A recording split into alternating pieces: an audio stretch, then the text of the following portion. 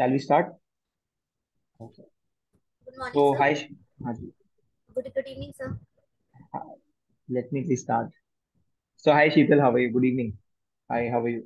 Good evening, sir. I'm good and I'm feeling uh, great and privileged to be here and giving interview at this esteemed organization. Okay, uh, it is a privilege for us too to meet uh, young blood. So, please brief me about your candidature, Sheetal. So my name is Sheetal Chitlangia. I'm a recently qualified cost management accountant. I have cleared cost management accountancy at first attempt throughout all the levels. I have done my internship from Metro Cement and Mines Private Limited, which is based in PPAR. Over there, the work that I was involved into was preparation of budget, cost records, and analyzing the variances and the reasons of variances. I also suggested improvements for the same I have also done my internship from Haribhakti and Company, Mumbai, and PK Ajmera and Company, wherein I was involved with the statutory audit and internal audit division. I have done comprehensive statutory audit for Wockhardt Limited, which is a pharmaceutical company, and I have uh, extensively done audit in the areas of account payables, account receivables, investments, and banks. We have also visited the manufacturing locations and seen their uh, processes, process walkthrough, business walkthrough, and analyzed the internal controls. In my academic, I am uh, ma- I have done my master's in business finance and economics and my bachelor's BCom from Jai Narain Vyas University, Jodhpur. I have scored 60% plus in both my graduation and post graduation.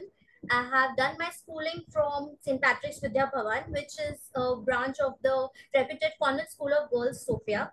I have been a scholar throughout my academics and also a school topper in my class 10th examinations. During my leisure time, I like involving myself in the fields where I can free flow my creativity like painting, art and craft. I like making distinctive art and craft, hand, handcrafted products and uh, gifting them to my near and dear ones. It gives me a feeling that I'm more connected to them. I also like reading fiction books when I have time and involving myself in cooking because it helps me relax and unwind myself. Uh, I am based uh, from uh, from Jodhpur, the blue city of Rajasthan, and uh, that's all from about myself.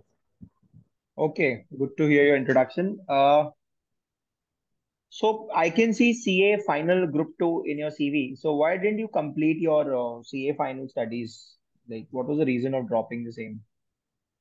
Sir, uh, I got involved I, in, into cost management accountancy from 2020 and uh, 21, and I got to know about this course later, where I discovered that the curriculum is quite same and it's a very booming sector. Earlier, there was not much knowledge or awareness about this in the area where I live. So when I came to know about this and I researched about this, uh, I thought to pursue my career in this Hmm. and Okay, I but left my CA because uh, I thought let's not uh, float in two boats and just focus in one. And uh, as a result, I did clear my uh, CMA exams in first attempt throughout all the levels. Uh, I feel I, I was more focused and determined to do this in first attempt. okay, great.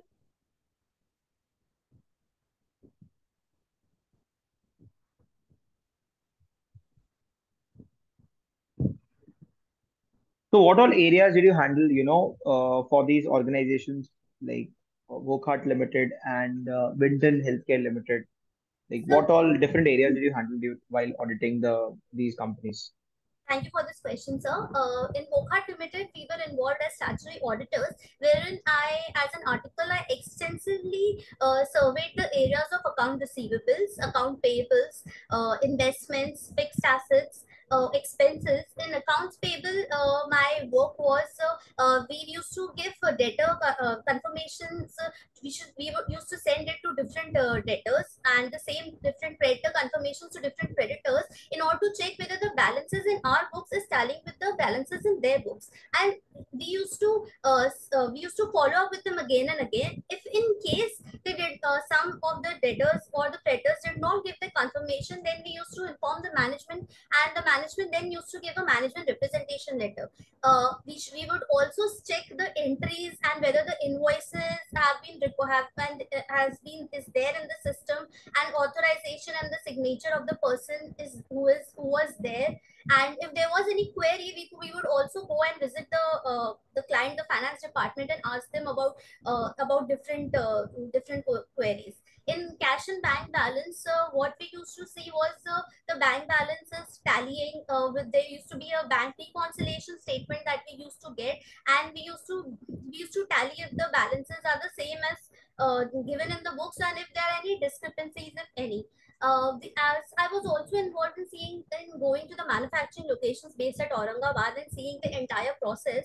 So I saw that the processes were followed very strictly. There were the in in all the factories we used to go there and uh, uh, with, with all the setup and even one hair should not be out of that uh, uh, the cap that they give us and every uh, we used to see there how the stocks are maintained if all the registers are being maintained properly if the warehouse keeper is maintaining the records of all the stocks the expiry dates uh, have not passed of all of them so this entire process we used to see and uh, also we, we did some physical verification of the assets and the stock and i've also done uh, tax yeah that's all for Wockhardt Limited. Okay, great. So as you said that you've done physical verification of inventory, right?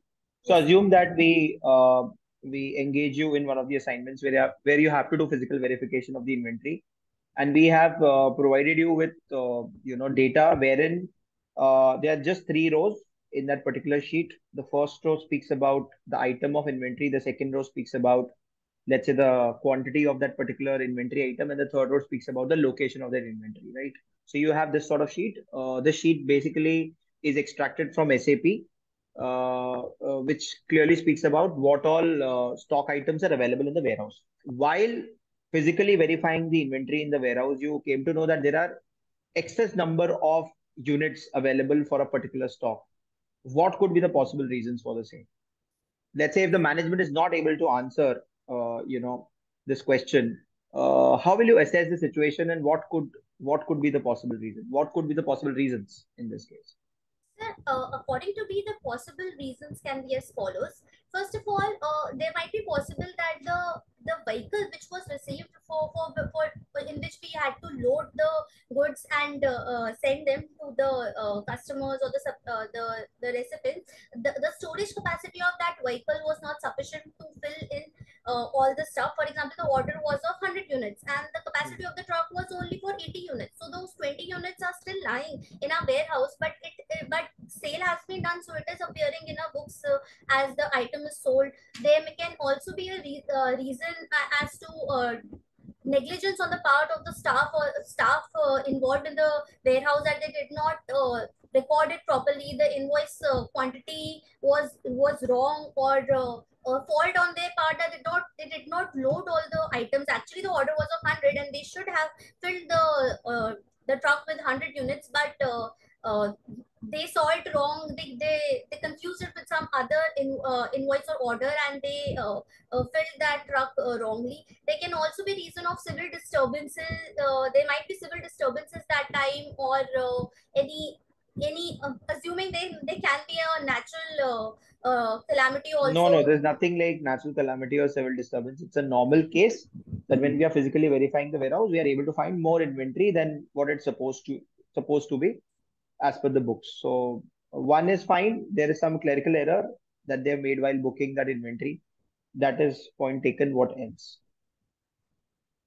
So the storage capacity point I have given and uh, other points they can be there might be some uh, issue regarding uh, the, the there might be some confusion regarding uh, the orders so that's all I can think of right now. Okay, fine, fine.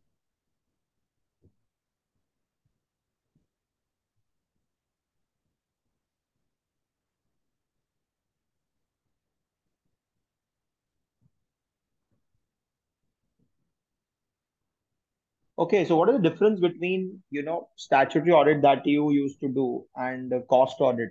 Like, is there any difference between the two? Uh, yes, sir. Uh, there is a difference in statutory audit. Statutory audit only chartered accountants can do, and statutory audit we see the financial statements, which involves our balance sheet, P&L, uh, cash flows, notes to accounts.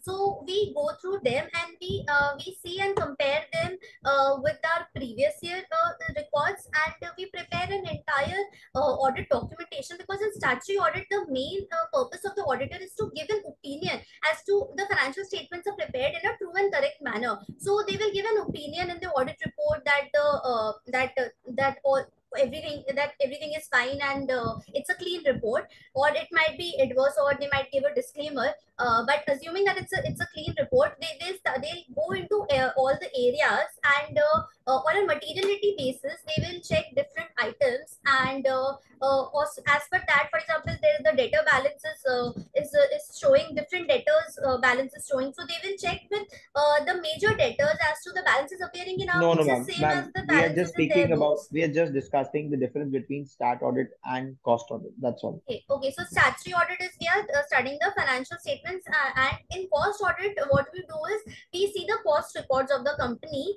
and we see if they are prepared as per the cost accounting uh, standards. They they uh, they give us a, a, correct picture of all the materials and expenses used. And uh, that only a cost auditor the cost management accountant can do. And there is a separate so both so both that. are done and both are done both are done as per companies act right? Yes sir. Both are done under the same statute Hence, stat audit is called a stat audit because it is a statutory audit under a statute. Even the cost audit is done under the same statute, which is Companies Act. Yes, Why we call stat audit as stat audit and cost audit as cost audit and not stat audit? Sir, in statutory audit, this is a compulsory thing that we, we, we need to do as per the law given in those sections. As per that sections we have to do. And in cost audit, we are not seeing as to what financials are made and why this thing is there in the financial and we are not giving our opinion. In cost audit, we are and the cost auditor, we are checking uh, uh, the, the things of related to cost elements. Hmm. Okay, and, fine even Fine. internal audit is a different segment and under the same statute, but that is hmm. covered by a different section. Okay, great. So as you said in the introduction that you've also done, you know, variance analysis and budgeting work. So what is the basic difference between uh, budgeting and forecasting? So budget means that we are preparing a financial plan in a quantitative terms.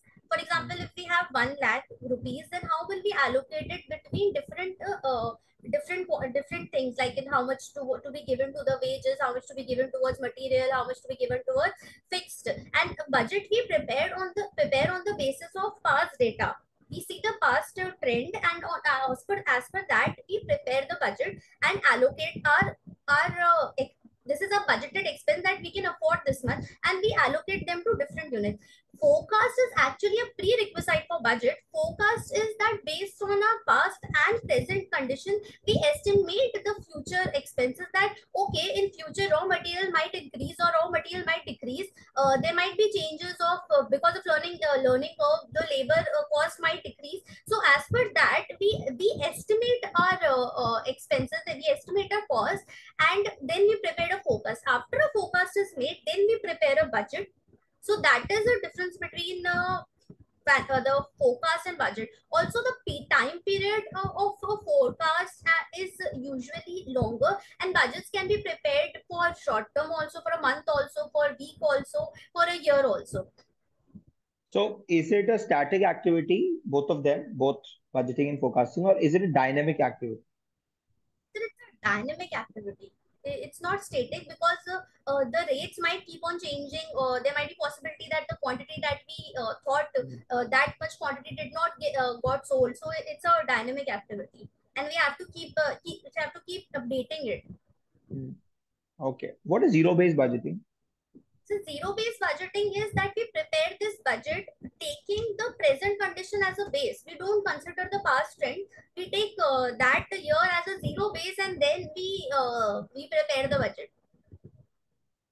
Okay. So why why do we not consider the base or why don't we take uh, reference from the last year?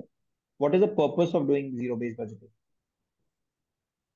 As for me, the purpose for doing zero-based budgeting is to get a fresh perspective. There might be cases that the company has uh, diversified and now it can't use uh, the old data or uh, uh, the, the, conditions of old uh, the previous years is not similar to that of the current year and hence they have to take it a new base. They can't take uh, early, the basis of earlier years. Okay.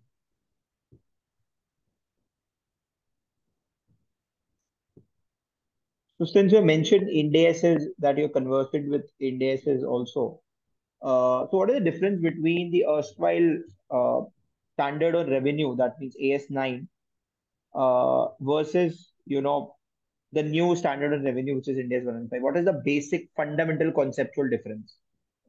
In Ind AS 115, which is uh, re uh, revenue from contract with customers, we only see the contracts with the, uh, we, we recognize revenue from the contracts with customers and they, the from the goods that we are selling and the sales uh, services rendered to them.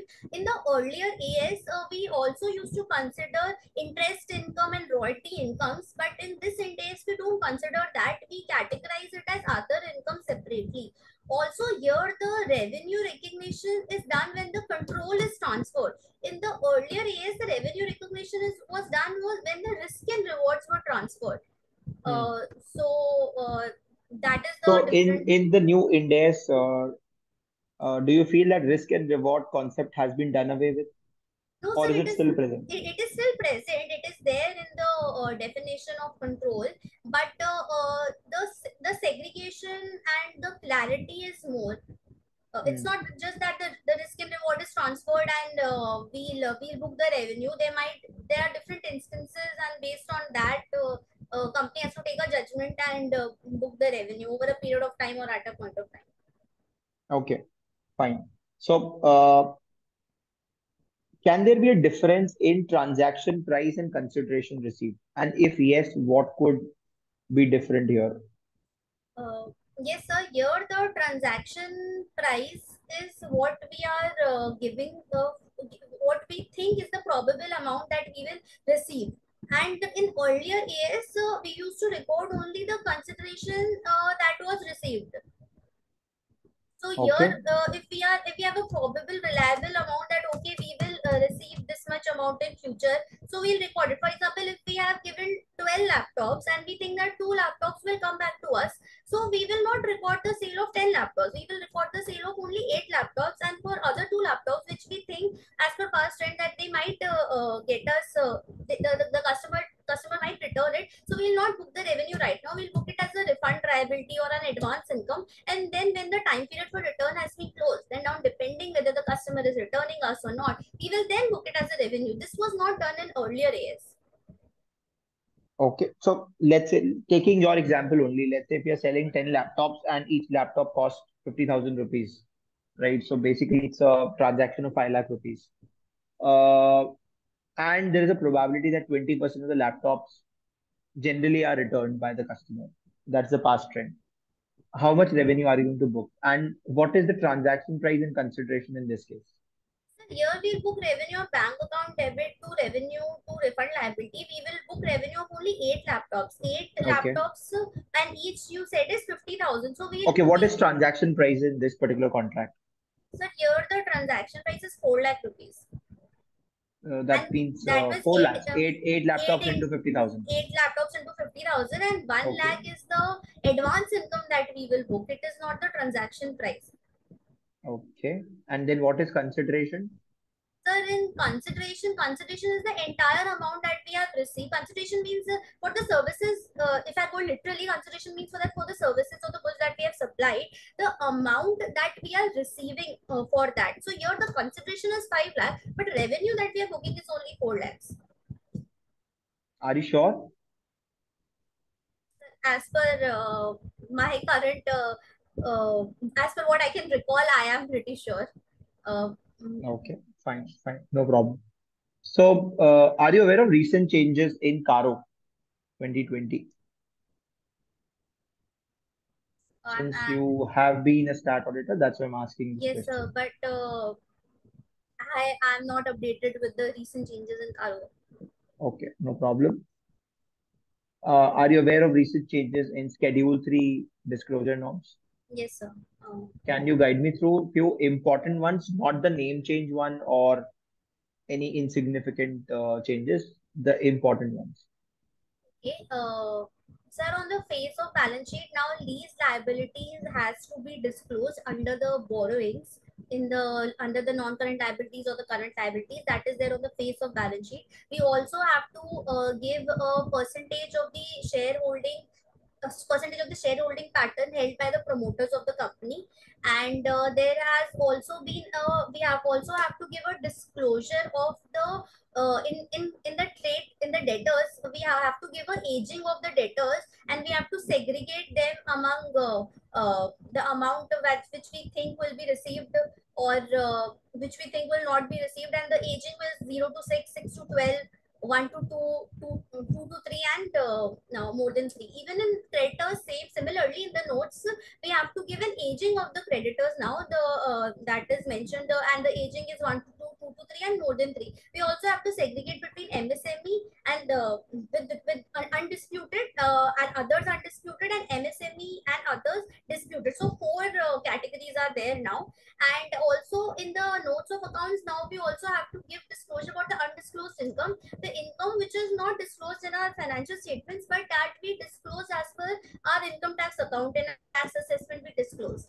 Uh, another thing is about the csr expenditure. Uh, if a company uh, section 135 is applicable to the company and they are doing a, a csr expenditure so they have to give disclosure as to on what activities uh, they uh, contributed that money to what amount uh, um, they had kept aside but how much amount did they actually invest on those activities so accordingly the shortfall uh, the nature the activity. So that is a separate heading that we have to give. And uh, that is all that i can uh, remember as of now. Also there has been changes in the statement of changes in equity. Now we also have to uh, uh, uh, additionally two more columns have been added as to why the if the current the the opening balance of current year if there has been changes in that opening balance because of any prior period item changes so even that column is added here You spoke about CSR. So let's say, you know, I'm spending some amount uh, to carry out any CSR activity under law, which is a approved object by the Companies Act, and I am availing some services or goods to carry out that particular CSR activity. Can I claim credit for the same? Uh, no sir as per the recent amendments in the budget 2023 we no longer can uh, take uh, itc of the goods and services that are used or intended to be used for csr activities Okay. Adding on one more fact here. Let's say those uh, purchases were made from MSME vendors. So the uh, vendors through which we bought these particular goods or services or availed services, they were MSME vendors and we had a contract with them. Now, due to some internal error or some problem in our system, maybe we were transitioning from one ERP to another. It took us three months to transition.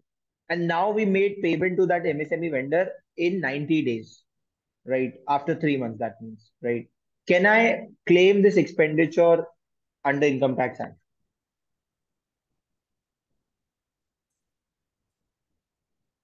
I think uh, we can claim we, we cannot claim expenditure under income tax act because CSR is not an allowed expense under section 37. So, no, we are not spending on CSR. We are just buying goods and services for carrying out G CSR activity. So, and we are paying after like we are paying in 90 days, after 60, 70 days, 90 days. So in income tax, we can uh, take, uh, uh, we can allow that expense. Okay, are you sure? So uh, just to clarify the question, the we have taken goods and services uh, not for business purpose. So let's say we are uh, we are imparting education to people who are staying in villages. So we have adopted certain villages and their schools, right? And we distribute food and uh, let's say books and stationery and various other things, uniforms, and we are buying these you know, food, uniform, stationery from vendors who are MSME vendors, right? Now, can I, you know, claim deduction for the amount that uh, I've spent on buying the stationery, etc. amount? No, sir, we cannot uh, because uh, this is not an expense related to the business. and uh, the hence it will not be allowed. It, and Okay, let's assume that it is not for CSR. It's uh, amount other than CSR. We have made normal business expenses, which is which doesn't pertain to CSR activity. It's a normal business expense, and we are paying off our uh, you know MSME creditors in 90 days. Can I claim the amount in my books now? uh, if our business is not of uh, building uh, schools and uh, then I No, no, I am normal. I am ITC. I am buying something from a vendor, normal, okay like a normal purchase that I do, which is a allowed purchase in the Income Tax Act. okay Now, can I claim uh, this as a deduction in my books? yes sir Expense. yes sir because it's an Are you sure? allowed purchase as per Hmm. income tax act sir i'll definitely read upon it uh, Okay, fine, fine. Understood.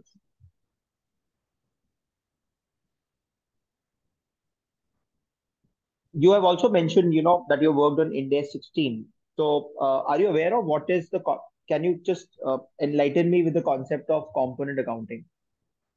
Yes, sir. Uh, component accounting is uh, is sir. I would like to explain this with the help of an example, if you allow. Uh, for example, we have a, a jet, and in that jet, uh, the the engine has different uh, has different uh, useful life, and the body of the uh, jet has different useful life. So th- there can be cases where significant uh, parts have different useful life. So in that case, it is not necessary that, uh, that we will take that entire jet as one PPE. We can do component accounting. We can uh, segregate them, and then we will here for say we'll uh, dep- uh, we'll depreciate the uh, the body. For example, in five years, and then we depreciating the uh, engine in, for example, two years. So there can be a difference like that Hmm. and then Okay. later on after two years if uh, the engine uh, has to be replaced then that will go for, from the books at carrying value and then replaced at uh, the value of the new engine that is replaced so it is possible if there is different useful life there and uh, there are significant components so then the component accounting How do you determine whether a particular component is significant component? so that is depending on the judgment uh, of the, the, the that particular industry Okay, fine. Let's say there is a, you know, there's one machine and it has a spark plug. Uh, you know, the useful life of that spark plug, plug is not more than six months. The useful life of machine is 20 years. The useful life of that spark plug is, plug is six months. Without that spark plug, the machine cannot function. Is it a significant component? Sir, it has to be uh, significant as in uh, the cost is not a factor uh, that uh, I know here that sign- uh, and for deciding the components the cost is not a factor. But uh, uh, there should be some materiality and some some size as per which the the company has to decide. Like here that spark plug is like a spare part. It is not a entire different segregation. So, you just now said that uh, the cost of that particular thing is not a factor to determine the significance, right? Hello, you're not audible. Your video is stuck. Okay, it's my problem.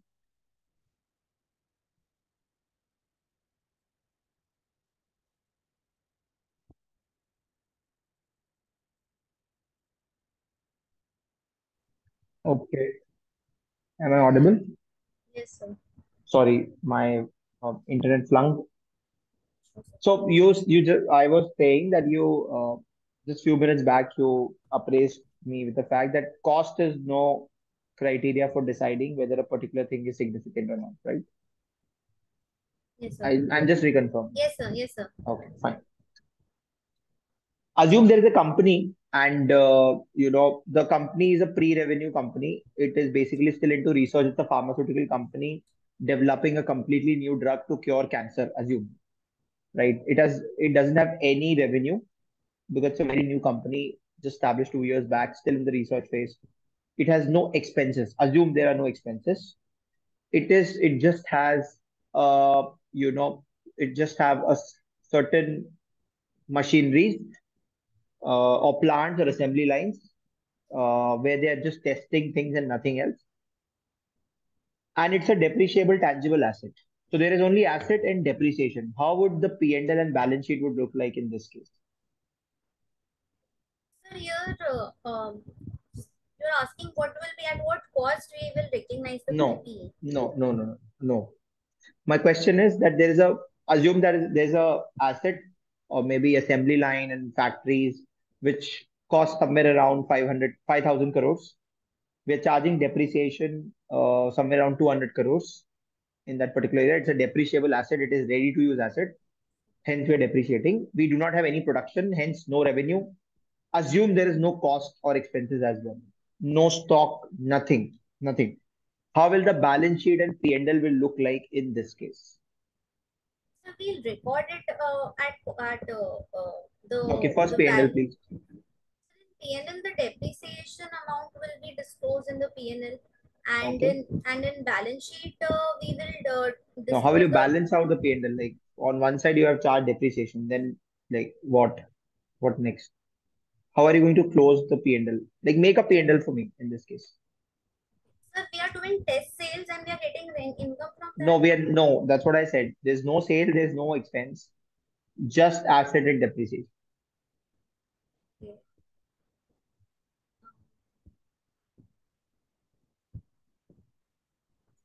Depreciation. So there might be a uh, it was two bank the entry uh, there, there was a debtor creditor also or it was nothing. purchase nothing. Okay. Nothing.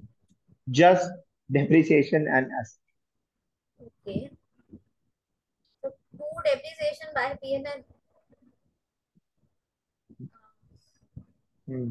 and in okay balance sheet uh, the asset account divi- uh, less the the asset amount less the depreciation and then the Hmm. carrying value Hmm. and and bank uh,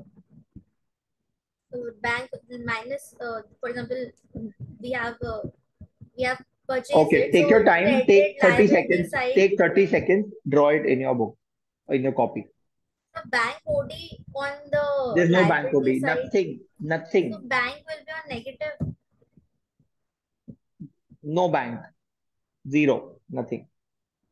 Uh, but the entry would be asset account debit to bank so asset was bought two years back. Okay we are just depreciating the same. Okay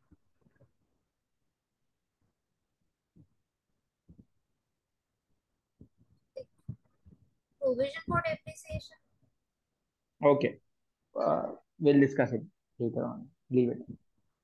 Um so it seems you have also done you know gst advisory work. Uh, so are you aware of uh, the recently launched qrmp scheme? Yes sir i'm vaguely aware about it. What what it is all about? Uh, sir in uh, qrmp scheme it is quarterly return and monthly payment. Uh, so it Hmm. is uh, the government has introduced it so as to give a bit of uh, uh, convenience to the taxpayers and where wherein we have to pay the returns now quarterly but every monthly the uh, statement will be filed and uh, it's uh, that depending on different states you're making a mistake. You're saying you have to pay quarterly and no return quarterly quarterly return filing and uh, payment or statement has to be filed on uh, uh, monthly basis uh, uh, like ranging different uh, states have different due dates ranging from 11 to 13 of the next month. For payment? For payment. Okay fine. And what is the threshold? Like what sort of dealer what sort of assessee can opt for the scheme? Which all assessees can opt for the scheme the threshold i think was uh, 5 lakh uh, 5 lakhs what? Itc turnover. turnover 5 lakh turnover. Okay. Just and 5 lakhs. Do you really f- okay let's say someone has a turnover of 5 lakhs. Do they really need to register in gst I'm sorry. Sorry. Yeah, no they don't need to register in gst uh, okay no I'll, problem. I'll read upon it. No problem. So are you aware of uh, e-invoicing uh, norms e-invoicing scheme Yes, Yeah, sir. I'm, please guide me through invoicing. Sir, in uh, the e-invoicing scheme that was introduced a year or two years uh, back, in that scheme, uh, there has been thresh- different thresholds. Uh, if your turnover in from year 2017-18 to uh, 21-22 was between this uh, uh, limit, in that case, you have to generate an e-invoice on the portal and uh, uh, as and uh, there will be authorized uh, signatures uh, and there will be b2b invoices uh, it, it is only for b2b invoices and uh, also for uh, i think that there, there are different thresholds So is it not for B2C invoices at all? Is it not for B2C invoices at all? sir uh, it Or for a certain set certain set of uh, you know for certain set of B2C invoices you have to generate invoice. For it is mandatory for B2B. For if you're Hmm. if you're for example more than 10 crore limit, so it is Hmm. uh, mandatory for them. Hmm. And uh, uh, they also have mentioned uh, the the the time limit in which you have to uh, generate it. For if your Hmm. turnover was more than 100 crore, then you have to generate it within seven days. For others, they have not given a time limit as of now. And uh, in this uh, first we'll generate uh, the invoice on the portal, and then uh, there's to be authorized signature, and then uh, the mm, the the it will be reflected on the portal, and then it will also be reflected in the port, uh, on the portal of the uh, recipient. So then he can automatically claim uh, ITC. Okay. So to whom is it applicable? Like what sort of assessees do need to, you know, compulsorily apply invoicing scheme? To be and if your threshold is more than 10 crore, that is one. And uh, others are uh, if you are an uh, sir in B2C also there was some criteria, but uh, I am not able to uh, recall.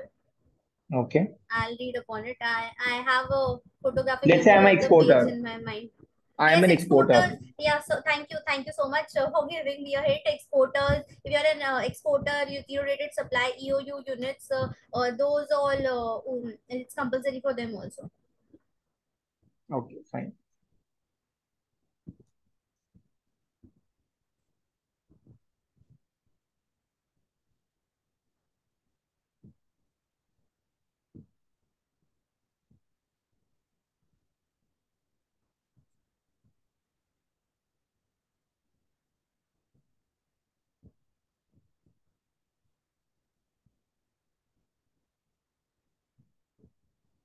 So uh, let's assume that I'm L&T or I'm ITC. Let's say I'm L&T and I'm building a flyover in Maharashtra, and uh, you are running an engineering firm, a firm of chartered engineers who provide, you know, engineering support to different infrastructure companies. And I'm coming to you and we are signing a contract uh, wherein you will help me with designs of that particular flyover.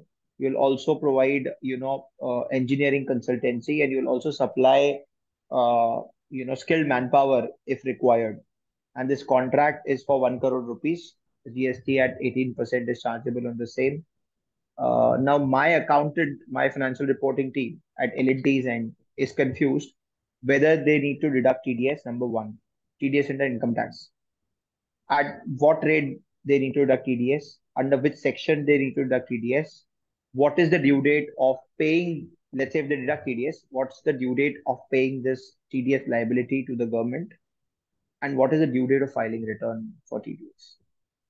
Okay, so um, I'm uh, segregating your question in parts, so if you allow. Uh, the TDS will be deducted uh, as will be under section uh, 194J, which is for professional services, and uh, the due date for uh, that is uh, uh, for for the months. The due date is uh, the 10th of next month, and uh, for the month of uh, March, it is uh, it is uh, it is April end, and uh, that is the due date of uh, return.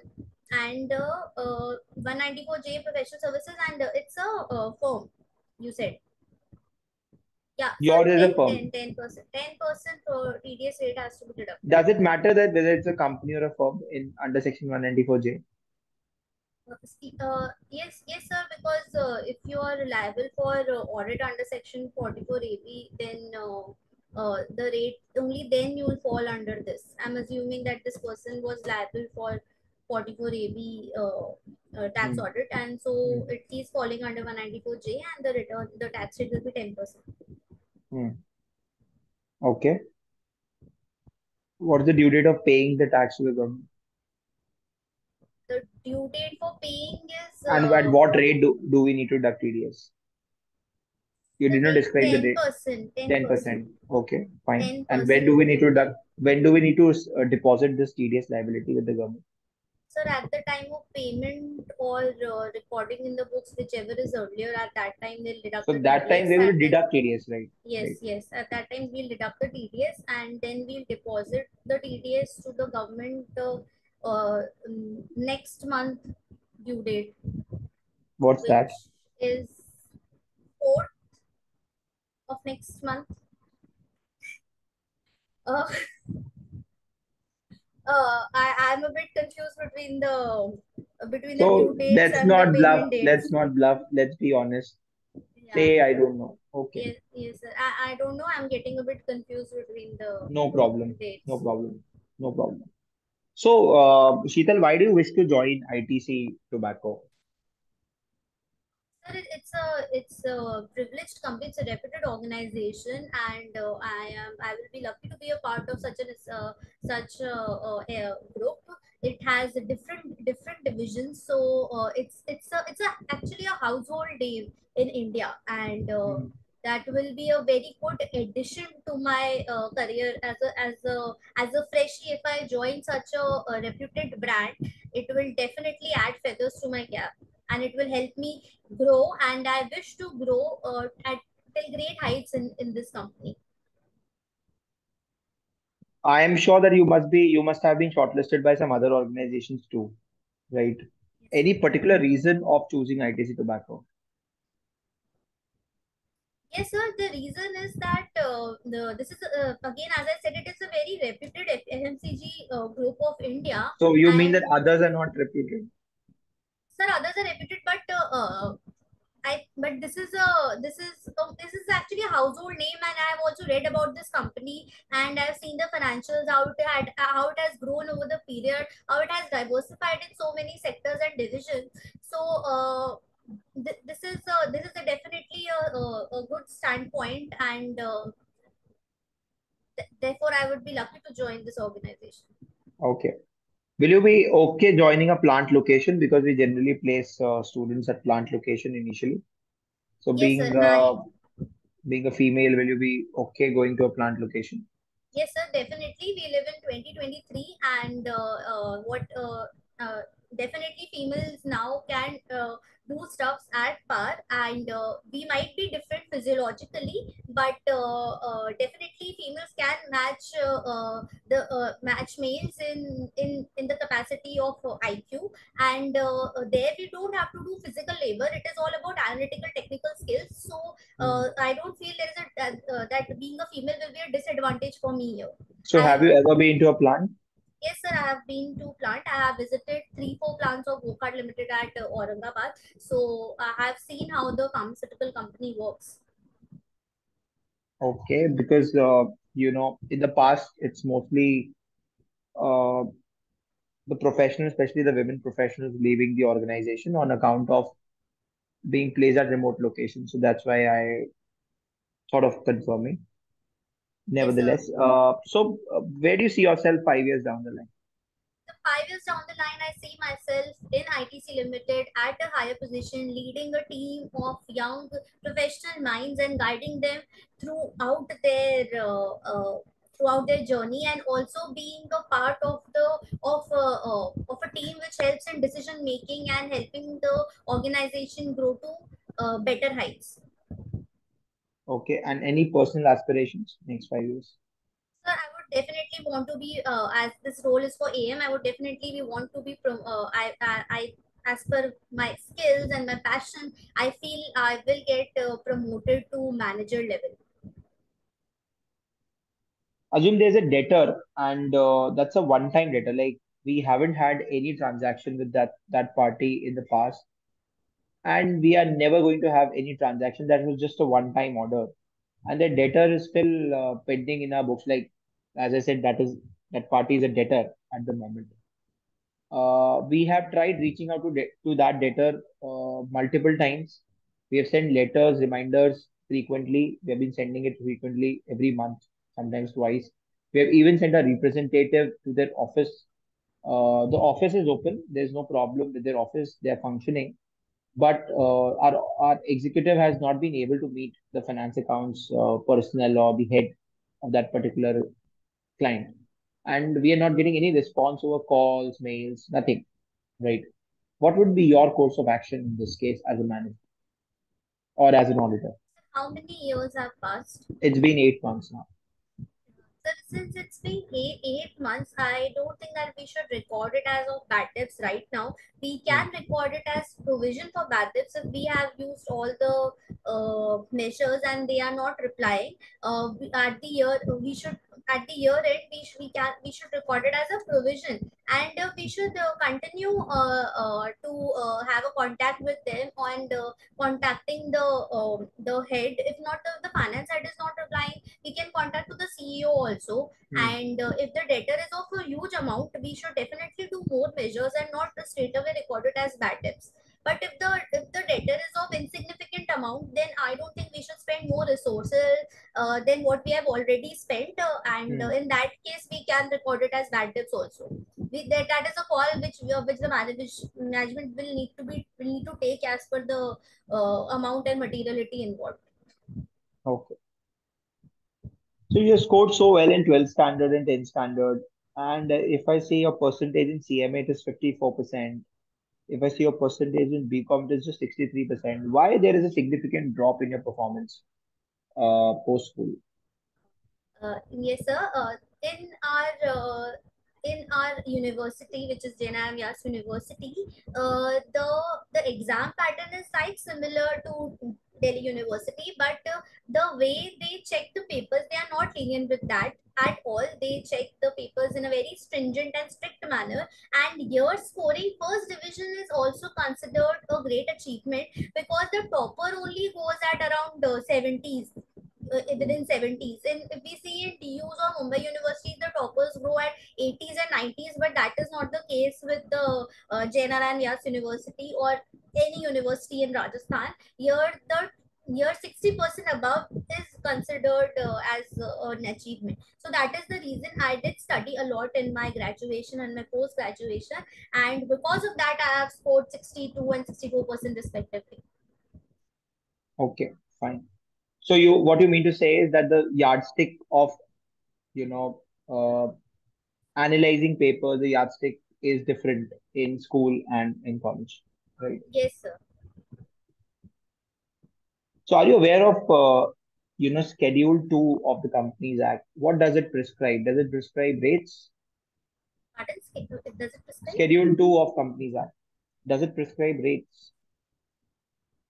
Yes, sir. It prescribe rates for uh, depreciation. Okay. And let's say if I'm using my uh, machines or assets in three shifts, uh, am I allowed to take accelerated depreciation? Sir, if we are using it in three shifts, uh, we are we, we cannot take accelerated depreciation. No. What about income tax? Sir, even in income tax, we cannot take. The income tax, the rates are mentioned in the Income Tax Act, and as per that, we have to There's a take the concept of additional rates. depreciation there.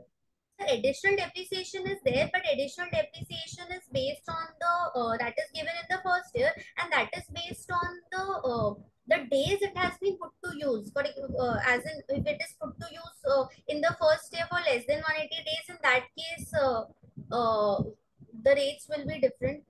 Hmm. So the additional depreciation concept is also regarding where the asset is placed. The, uh, just because the shifts are more, we cannot uh, put uh, more depreciation.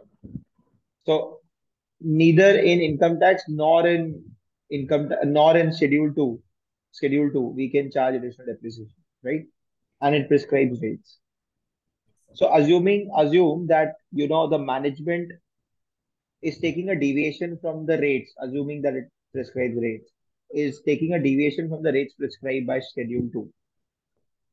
Uh, and they, so what should they do? Like, what sort of disclosures they need to give in their financial statement? How can they disclose the same in their financial statements?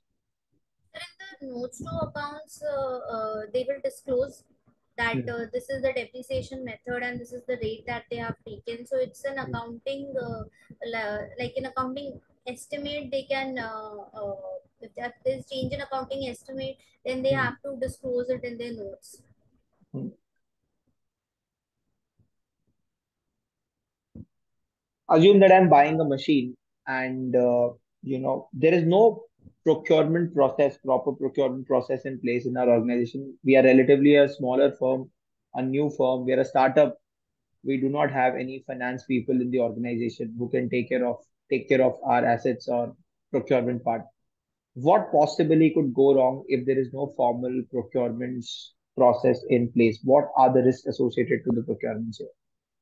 So if there is no formal process as to who will uh, uh, who will make the invoice, then who will uh, authenticate it, then there Hmm. might be problems as to the uh, maker checker concept. If the person who is making that person is only approving, then uh, if that person is doing any uh, any uh, mm, fraud, then that will not be checked. He can make a bogus uh, or fake uh, invoices uh, to uh, uh, to accelerate to decelerate the sales and to uh, tamper with the profit and uh, that will be affected uh, he can also do uh, he can also make invoices and take the uh, the goods home uh, which will in books uh, it will be shown as uh, it, it is a sale but uh, uh, the revenue has not been earned from that and he is uh, uh, that employee is enjoying on that and also they might uh, if the correct financials uh, the if it, the financials don't give a true and correct picture then ultimately the profit and the position No, no, we are not talking about financials, ma'am. We just need to know the risk associated to the procurement process. That's all. Sir, even uh, sir, if the if the entries are not recorded properly, the creditors won't be uh, receiving the payment on time. Just the procurement process, Yeah, the procurement process, the vendors will not not the accounting part. time. Yeah, that's fine.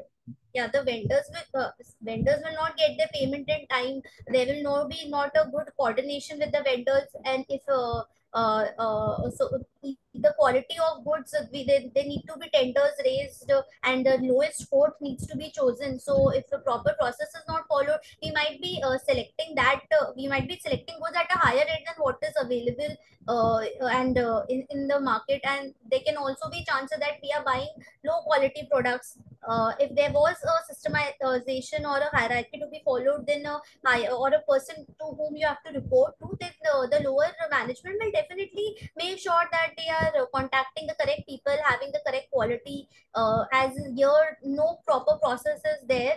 Uh, many companies also follow the just in time process which is actually that order only that much stock which is required uh, for the production so uh, they might be uh, ordering a lot of stuff which is not required and then the products uh, the raw materials might go obsolete. Uh, there are different uh, th- there are uh, industries where the tastes and preferences change with time to time. So uh, as per that if they're ordering a lot then they will go obsolete and it will hamper the uh, the Hmm. company. Uh, the, it will be a loss to the company. So there needs to be a proper uh, organization hierarchy and structure to be followed Okay, what else? uh, there can also be issues regarding uh, the regarding the management space regarding the uh, contacting with the mm, the transport companies uh, also uh, the the issue, there might be issues with them also and uh, even the cost incurred related to them that might be different. If that person who is uh, making who is who is in charge of that he has for example given the uh, contract of uh, getting the products from the supplier to the factory location to a person who is his relative. So that person might be charging us rate which is more than what is uh, there in the market. So ultimately that will lead to more cost to the, the company. Okay, fine, fine, fine. So you mentioned Ind AS 116 in your CV. So have you practically worked on Ind AS 6, 116? sir i've not practically worked with Ind AS 116 but i am conversant with it Conversant. Okay. So what are the exemptions available to lessee uh, under Ind AS 116? Sir, if the asset, uh, uh, if the, the time period of the lease is small, like uh, it is of uh, uh, 12 months or uh, less, then he does not have, have to record it as a lease liability. And also, if the value is a, it's a low value asset, then also it's not necessary for him to record it as lease liability. He'll record the lease as an expense in the PNL. Uh, and if the low value will have to be judged depending on the situation the of that uh, uh, company, the judge management has to take the judgment. Usually, it is on the basis whether that uh, asset, uh, the value that we are getting from that asset is not dependent on any other asset, and Hmm. it is uh, so. These are some measures on which uh, they have to take a decision as to whether it is a So one is one is uh, low value You know, asset, and one is the asset. low low. Uh, the lease term is twelve months or less. Okay, fine. Assume that you're taking some machine, let's say a crusher. You generate a lot of waste and you're buying a, you are taking a crusher on lease from me. I'm a, you know, vendor who provides crushers on lease. And now I have the ability or I can replace that crusher every day. That's a portable crusher. I can give you a new crusher every day. Uh, you are least bothered what crusher you're using. You just need a crusher every day. I said, I told you that no problem. We'll give you a crusher, but we'll keep replacing the crusher whenever we want, right? Uh, my question is, and you're paying 50,000 per month to get this crusher on your unit every day. So you're paying that rent to me, right? Is it a lease contract? No, sir, it is not a lease contract as per Ind AS 116. That has to be an identified asset. The, the, under a contract, it has to be identified asset, which is given on uh, uh, lease and the control is transferred uh, to the lessee. And uh, here, it is not an identified asset as it is replaceable. Uh, one day he will give uh, one uh, one uh, crusher, another day he will give another crusher. This, this is not a separate or distinct asset so uh, this is this is not and also here we see that uh, the control is not transferred the right to use the asset uh, it, it should be said that the lessee can use it the way he wants so uh, this is not a lease contract here Okay. And how to determine whether the right of right to use the control of asset is transferred or not? Uh, so for that, the right to use the the the lessee should have the right to use it as that he can sublease it, he can use it for generating the future economic benefits, and uh, it, it is his choice how he he wants Hmm. to use it. So that is the right to use. But keep, keeping that in mind, it is not that uh, he can use it any which way. There there are uh, things in the contract like uh, for uh, for example. Uh, for, for example, uh, uh, that this crusher can be used for only certain things and not for certain things. If that is given in the contract, then we can't use it for those unpermissible things. Okay. Um, so let's say you are, uh, you know, analyzing a balance sheet in P&L and you found out that the lease liability is increasing and the finance cost is going down. What could be the possible reasons for the same? The lease liability is increasing. Yeah. In the balance And- sheet, the lease liability is increasing, but in the P&L statement, when you, uh, you know, analyze and observe certain figures, the finance cost is decreasing from last year. What could be the the finance cost can be uh, on due to uh, various uh, factors and divisions. It is not just limited to the uh, the interest expense in the lease because the entry is the interest expense debit to lease liability. We record the lease liability on day one at the present value and uh, then we keep on unwinding it. So and th- then the entry becomes interest expense to lease liability. So uh, as per that, the interest expense should rise, but here only the lease liability is rising. Yes, the lease liability uh, will rise this interest expense uh, uh, because as the years are decreasing, so uh, it's the present value we are. Uh, mm, the interest expense will reduce because we are making payments to them. So the interest expense over the time will reduce because it is calculated But the lease the liability increasing. balance. The lease liability will increase because interest expense to lease liability. We are it's a financial liability that uh, uh, that will increase uh, in the books, and then later on we'll do the payment as to lease liability to bank. Okay. It has, let's assume that financial finance cost has substantially gone down. So there can be other factors also. Uh, Like? there, the, there might be change in the uh, rate. Uh, Okay, there, fine. Yes. What else? they can be uh, it might be possible that there is a modification of the contract and now for example earlier two three uh, assets we are taken on lease now or the asset quantity is reduced so they have to modify the contract uh, the term period might have gotten reduced of the lease period uh, Hmm. so as per that also the expense might uh, have differed Okay. we might have made some payment Okay. Of what?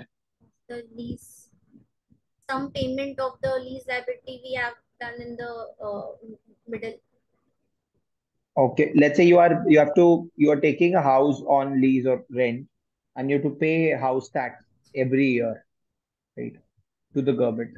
Will this be a part of lease liability? While computing lease liability, will you include this amount? for computing the lease liability uh, only the, the taxes are uh, not to be included in lease liability it is not something which you are given to that uh, uh, that lessor it is something we are paying to the government Hmm. it is not included in the lease liability Assume that in this case, uh, the lessor is paying to the government, we have to reimburse the amount to the lessor. So still it is not related to the lease we will only take the fixed amount or the variable amount which is related to the lease so Hmm. or so it, it will not be included Are you sure? as per what i can recall i uh,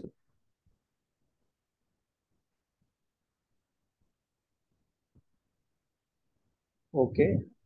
Uh, what will be the treatment of, you know, uh, ESOPs being issued or ESOP, uh, being issued to the employees in a startup? Will it be categorized as financial liability or what? Like as per Ind AS 109, what would be its treatment? ESOP is not a financial liability because financial liability means the contractual obligation that the that the company has uh, that involves uh, uh, an outflow of that there's a contractual obligation that they will pay cash or they will pay any other financial asset.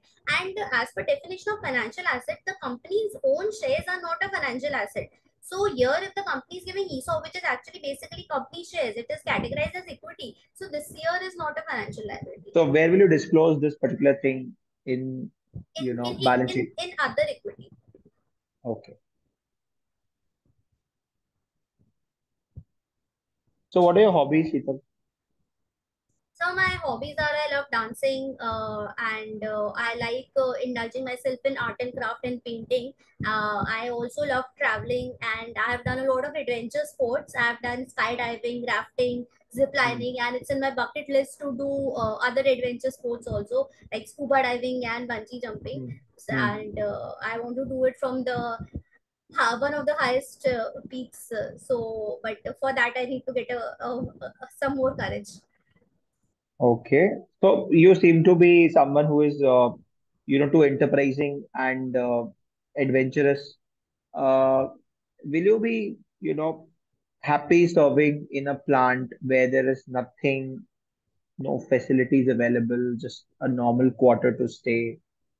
Uh, will it be yes okay for you? yes sir i'll be okay because these are what i, I know how to categorize my uh, professional life and how to categorize my personal life. My hobbies which are dancing and painting that i can do anywhere. Whether i am in on mountains or whether i am at a plant i can do that Hmm. stuff. I also enjoy and penning down poetry uh, when i'm calm and i want to uh, let go all my thoughts in a free flow manner. So i Hmm. also Hmm. involve myself in poetry. So i think if it's it's it's a calmer location then uh, uh, I might pursue uh, that hobby of mine uh, in a more uh, uh, expressive way. Okay, great.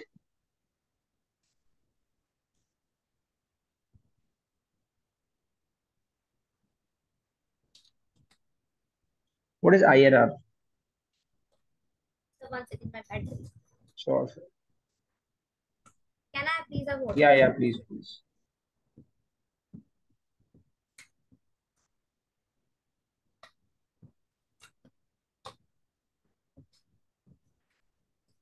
Yeah, IRR? IRR means internal rate of return. It means the rate of return uh, at which the the inflow, the present value of the inflows of the company will equal to be will be equal to the outflows.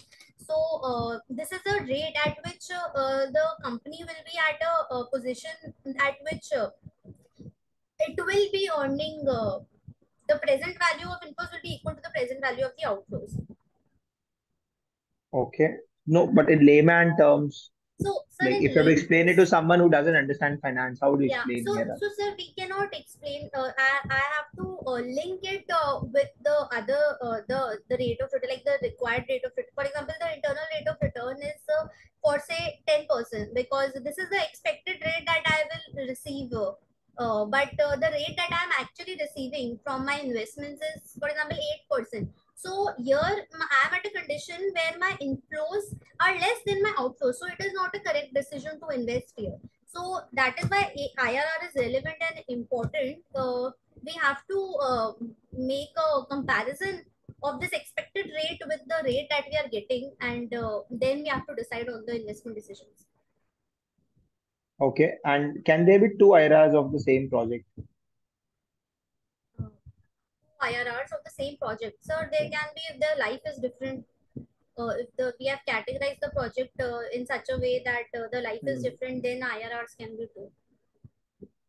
Because then the inflows will be different. For example, for one component, the inflows is ranging to three years, another it is ranging to five years. So uh, in that case, it can be different. Okay, so life is one factor. What are other factors that can uh, vary our IRRs?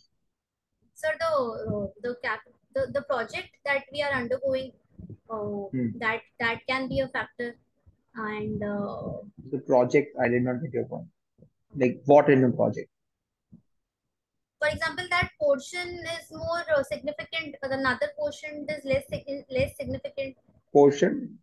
For example, there is a project, and uh, that we have to. Uh,